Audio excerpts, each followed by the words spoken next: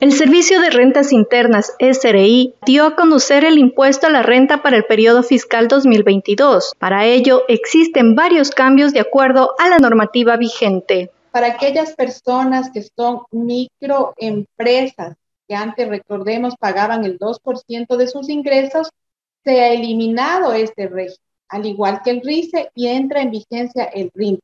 ¿Qué es el RIMPE? Un régimen simplificado donde las personas que tengan hasta 20 mil dólares de ingreso son negocios populares donde tendrán una tarifa fija, no tendrán que hacer declaraciones y aquellas personas que tengan ingresos de 20 mil uno hasta 300 mil aplicará una tabla progresiva donde tendrán que ubicarse cada persona. Para las demás personas, es decir, aquellas actividades que no entran en el RIMPE, las personas en relación de dependencia, hubo un incremento en el pago del impuesto a la renta. A su vez indicó que el impuesto a la renta para el 2022 es de 11.310 dólares, por lo que el valor a verificar es de 24.090 con 30 centavos. Si sus ingresos no exceden este valor, entonces se podrá descontar del impuesto del 20% de los gastos personales y si excede, podrá ser solo el 10% de dichos gastos. Es decir, que ganen más de 24 mil dólares podremos deducirnos de nuestros gastos personales el 10%. Aquellas personas que tengan un ingreso inferior a 2.13 fracciones básicas van a poder deducirse hasta un 20%. Comparando estos valores con las canastas básicas vigentes.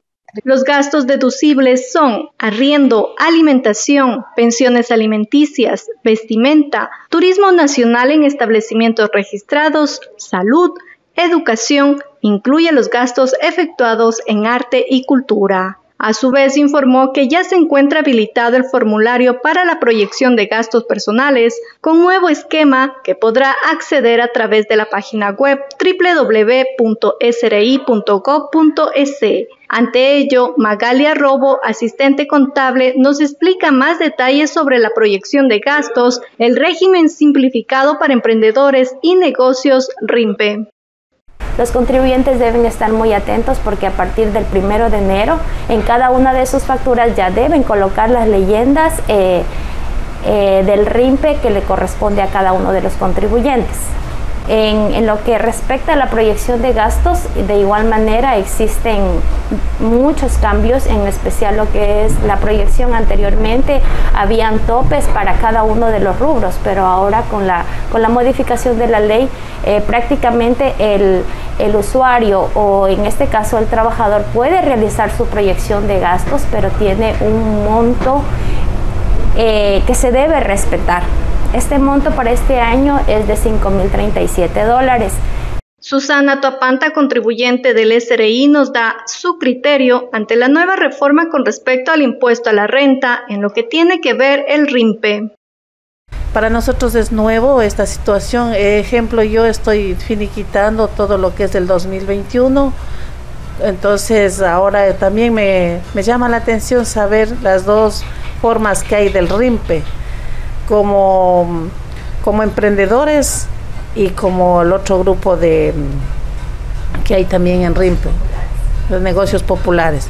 Entonces, ¿sabe que estamos ahorita, estoy dando eso, iniciando esos trámites para poder eh, hacer todo en orden este año? Mi, gracias a mi contadora que nos está asesorando, estoy yo también iniciando este nuevo año con esas ganas de siempre estar bien, estar al día y no atrasarnos ni equivocarnos en lo que es eh, la contribución al Estado. En caso de existir un incremento en el sueldo, salario o cuando los gastos personales proyectados previamente sean superiores a los que efectivamente se estime efectuar, de acuerdo con la ley también podrá hacerlo en cualquier mes del año. Con edición de Richard Molina, informó Rocío León, Noticias al Día.